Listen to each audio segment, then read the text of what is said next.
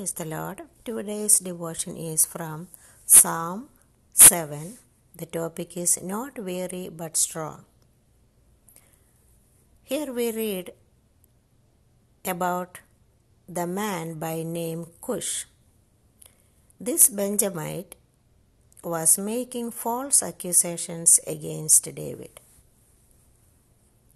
But here we read that David goes straight to the Lord for help with no doubt, no other second plan or thought. He fully trusts in the Lord. Sometimes some of us make or think about other plans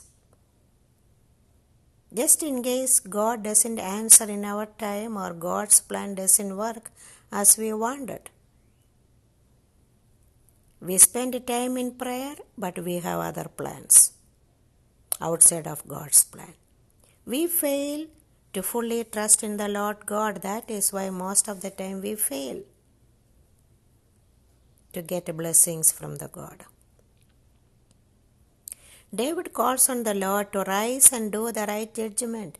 David asks the Lord to judge according to David's own righteousness and integrity.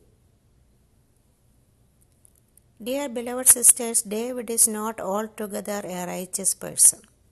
He is like any one of us.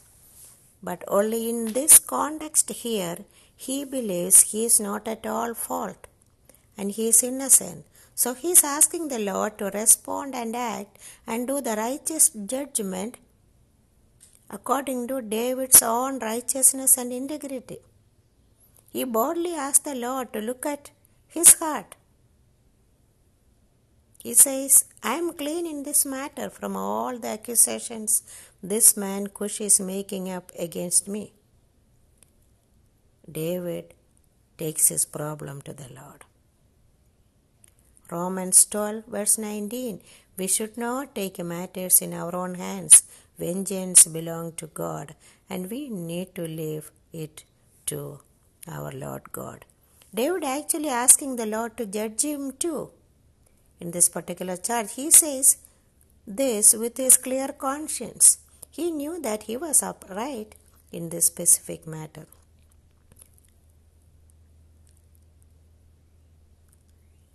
David says his enemy is planning wickedness. He is enlarging his wicked ideas and he is giving birth to evil for his own trouble. David strongly believes that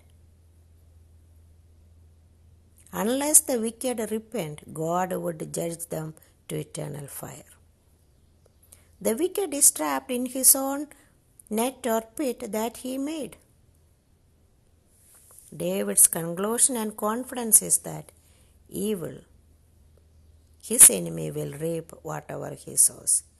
David trusts fully in the Lord. He is not going to worry about this man, his enemy. God will take care of him with his righteous judgment. That's what David strongly believes. How have we responded to circumstances like this in our life?